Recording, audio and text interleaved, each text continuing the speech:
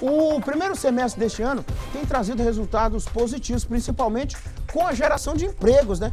De acordo com dados divulgados pelo CAGED, Cadastro Geral de Empregados e Desempregados, as micro e pequenas empresas respondem pela criação de 960 mil admissões. Já as médias e grandes atingiram 280 mil.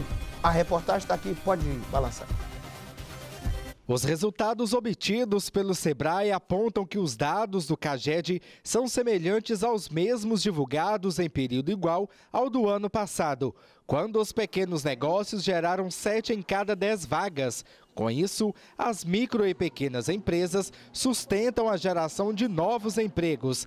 Em Governador Valadares, os segmentos sentem uma reação positiva quando se trata da retomada da economia.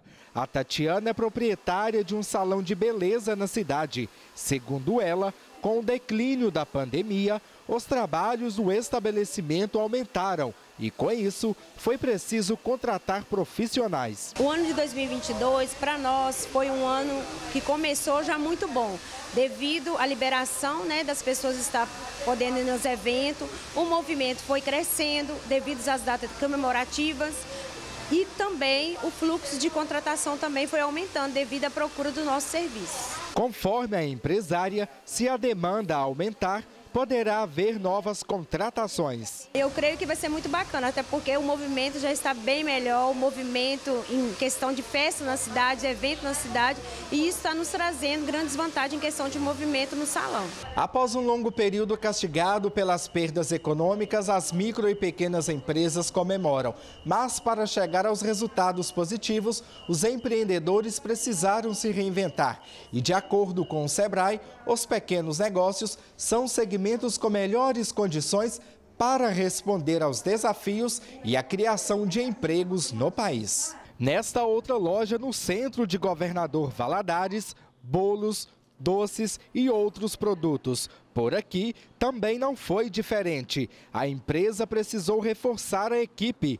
A proprietária Jaque Christian contou que durante a pandemia as coisas complicaram e ela precisou recorrer às plataformas para continuar com as vendas. Agora que muitos conhecem a empresa física, a demanda cresceu e com isso também fechou parceria com outras empresas. E é uma coisa que eu quero estender a outros lugares, porque eu não vou precisar de abrir lugares. São portas que já estão abertas, clientes que já estão feitos, e eu só vou agregar valor juntamente com os lojistas. A partir do momento que as vendas foram aumentando, automaticamente a gente teve que aumentar a equipe, né? Lembrando assim que eu não abro mão de ser uma confeitaria artesanal, nós somos uma empresa pequena, né? Nós trabalhamos com produtos frescos praticamente diário, mas mesmo assim o crescimento foi notório e nisso precisamos de aumentar sim. Hoje eu tenho uma equipe, não é muito grande, mas perto de onde que nós começamos. Hoje eu tenho aqui seis funcionários que fazem toda a diferença. A maioria das contratações é via CNPJ. O contador João Márcio de Almeida comentou sobre os trâmites de admissões. A gente percebe que a maioria dos empregos gerados no país, eles vêm da, da, dessas empresas, né, das micro e pequenas empresas, embora é uma realidade as grandes empresas, mas a gente percebe que a grande maioria das contratações partem das micro e pequenas empresas. Uma vez selecionado o candidato, é, são encaminhados né, para a contabilidade, tem toda uma relação de documentos que a gente precisa para poder formalizar esse vínculo através da empresa com o funcionário. Hoje em dia, naturalmente, com a questão digital, a gente tem feito todos os vínculos através do E-Social e utilizando muito a carteira digital. Principalmente os novos funcionários, as pessoas mais jovens, hoje basicamente já não tem mais a carteira física.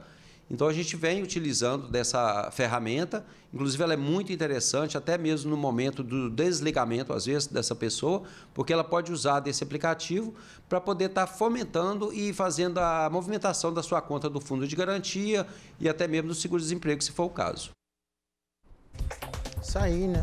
Economia, economia melhorando, a gente torce por isso, né?